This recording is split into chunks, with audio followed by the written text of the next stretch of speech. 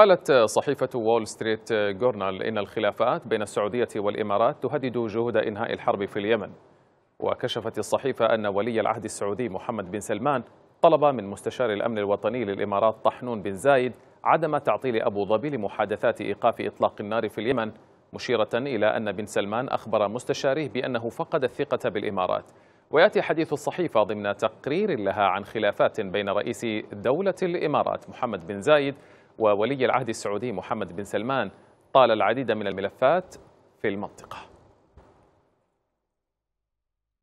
كما أوضحت وول ستريت جورنال أن أبو ظبي وقعت اتفاقا أمنيا مع مجلس القيادة يمنحها حق التدخل في اليمن. الأمر الذي اعتبره مسؤولون سعوديون تحديا لاستراتيجيتهم في اليمن. وأشارت الصحيفة إلى أن الإمارات تواصل دعم المجلس الانتقالي لتقسيم اليمن ما يقوض الجهود المبذولة للحفاظ على وحدة البلاد.